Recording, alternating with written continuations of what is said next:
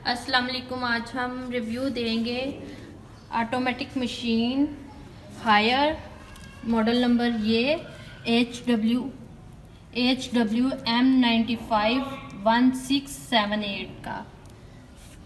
बस।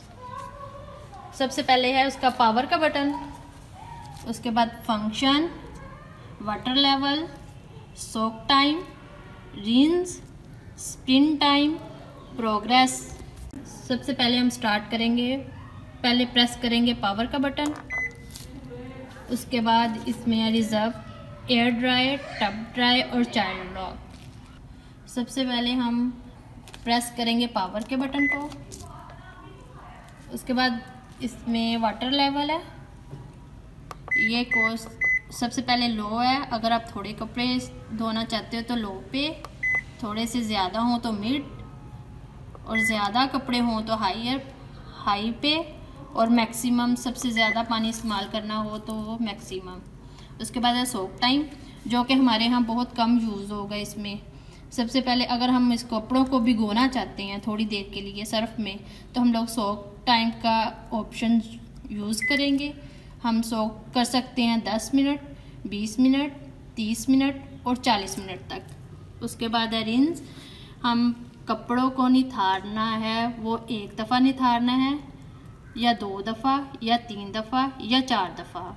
उसके बाद स्पिन स्पिन की टाइमिंग है चार मिनट पाँच मिनट छः मिनट और सात मिनट उसके बाद है प्रोग्रेस इसमें ये हमें, उस वक़्त जब हमारी मशीन चल रही होगी, तब ये हमें शो करेगा जो जो से फ़ंक्शन हमने इसमें ऐड किए थे, या हमने सोक को रखा था वाश को रखा था रिंस को रखा था और स्पिन को। और उसके बाद जब मशीन ऑन हो रही चल रही होगी तो उसी दौरान ये जो बटन है, ये ये शो कर रहे होंगे। इस टाइम मशीन जो है, वो सोक कर रही है वॉश कर रही है रिंस कर रही है स्पिन कर रही है। डिले का बटन मशीन को थोड़ी देर के लिए रोकने के लिए यूज़ होगा। जो डिले का बटन टाइमिंग जो है वो दो मिनट से शुरू होकर ट्वेंटी फाइव मिनट तक रहती है। जितने भी मिनट चाहें, वो आप इसमें रख सकते हैं। उसके बाद ये ऑटोमेटिकली खुद ही स्टार्ट हो जाएगा। सेट करने के लिए इस नॉब को घुमाएँ। जितने हम लोगों को कपड़े यूज़ करने हैं, जो भी हमें यूज़ करना है मीन्स के सबसे पहले आ जाता है कॉटन उसके बाद eco express sports wool heavy soft wash delicate blanket towels baby care drum clean cotton जो हमारे हमेशा जो कॉटन के सॉफ्ट से कपड़े होते हैं, उसके लिए क्या कॉटन यूज़ करते हैं? और सबसे कम कपड़ों के लिए यूज़ करते हैं इको लाइट वेट कपड़ों के लिए ये यूज़ करते हैं एक्सप्रेस जो थोड़े से भी अब अगर कपड़े धोने हों तो उनके लिए हम लोग एक्सप्रेस यूज़ करेंगे। स्पोर्ट्स के स्पोर्ट्स के कपड़े धोने के लिए ये आ, ये बट ये यूज़ करेंगे। वूल के कपड़ों के लिए धोने के लिए ये बटन यूज़ करेंगे। हैवी यहाँ पे हैवी जो है वो बहुत ज़्यादा भारी जो कपड़े होते हैं उनको डालने के लिए हैवी का फ़ंक्शन यूज़ करेंगे।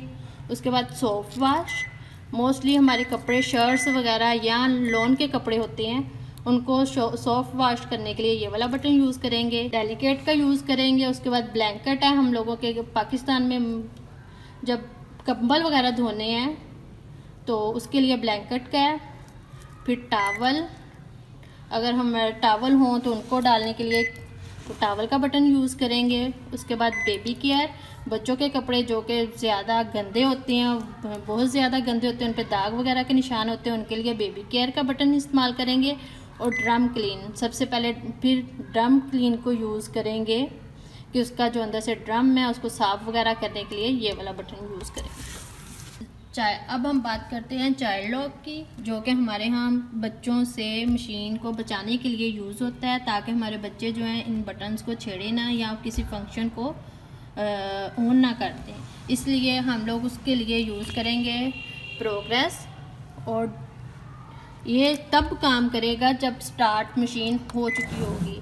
जैसे हम स्टार्ट करेंगे तो ये प्रोग्रेस और ट्रे को प्रेस दोनों को इकट्ठा प्रेस करके रखेंगे। तीन मिनट तक प्रेस करने के बाद एक टून की आवाज़ आएगी, साथ में ही चाइल्ड लॉक ऑन हो जाएगा।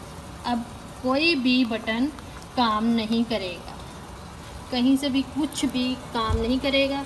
अगर हम चाइल्ड लॉक को ख़त्म करना चाहते हैं तो डिले और प्रोग्रेस के बटन को तीन सेकंड के लिए प्रेस किए रखेंगे। और साथ में ही एक पीप की आवाज़ आएगी और साथ में वो चाइल्ड लॉक ख़त्म हो जाएगा। अब हम स्टार्ट करते हैं वॉशिंग प्रोसेस सबसे पहले हमने इसके अंदर कपड़े डाले हैं। उसके बाद हम इसमें डालेंगे डिटर्जेंट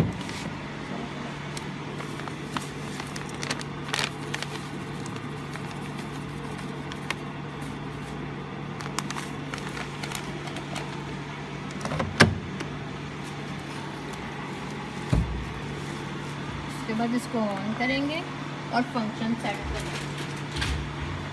और इसको हम स्टार्ट इको पे रख के इसका सेटिंग करेंगे। हमें पानी का लेवल चाहिए मिड और सोक टाइम हमने यूज़ नहीं करना। रिंस हम टू टाइम के लिए यूज़ करेंगे और स्पिन सिक्स टाइम के लिए। इसके बाद इसको स्टार्ट